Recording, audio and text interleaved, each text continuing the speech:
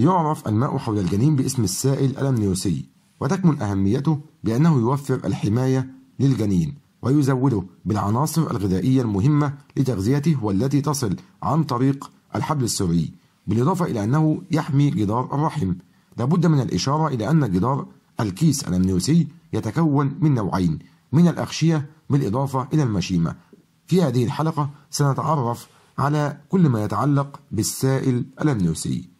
يتكون الكيس الأمنيوسي بعد أسبوعين من التلقيح ثم يمتلئ بالسائل خلال فترات تصل إلى عدة أسابيع حيث يحتوي على مجموعة عناصر مثل الكربوهيدرات والبروتينات والدهون والتي تساعد على نمو الجنين بصحة جيدة ويحميه من الحرارة إذ يبتلع الجنين هذا السائل ويخرجه على شكل بول كما يدخل إلى الرئتين.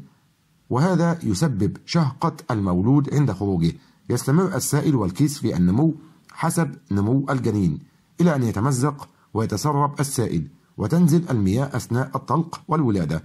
ونقص هذا السائل يتسبب في خلل في مرحلة الحمل. ويمكن توضيح أعراض نقص الماء حول الجنين في العنصرين التاليين.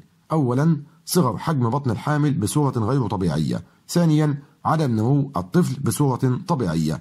وتتعدد الأسباب التي تؤدي إلى نقص الماء حول الجنين. الأمر الذي يلجأ به الطبيب إلى إجراء عملية قيصرية. من هذه الأسباب ما يلي. تمزق الرحم مما يتسبب في نزول السائل الأمنيوسي. ثانيا مرور أكثر من 42 أسبوعا على الحمل. ثالثا تعرض المشيمة لبعض المشاكل. رابعا تناول بعض أنواع العقاقير الطبية المضادة للالتهابات.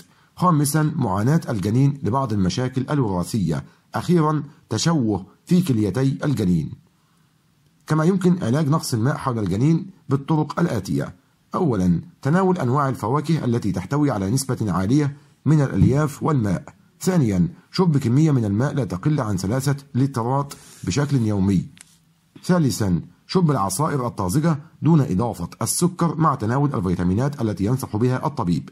تجنب المشروبات التي تحتوي على الكافيين بأنواعها مثل الشاي والقهوة. خامسا الابتعاد عن التدخين.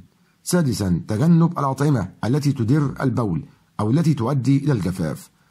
سادسا تجنب القيام بأي مجهود مثل ممارسة العلاقة الحميمة. سابعا تجنب تناول المكملات العشبية التي تسبب جفاف البشرة.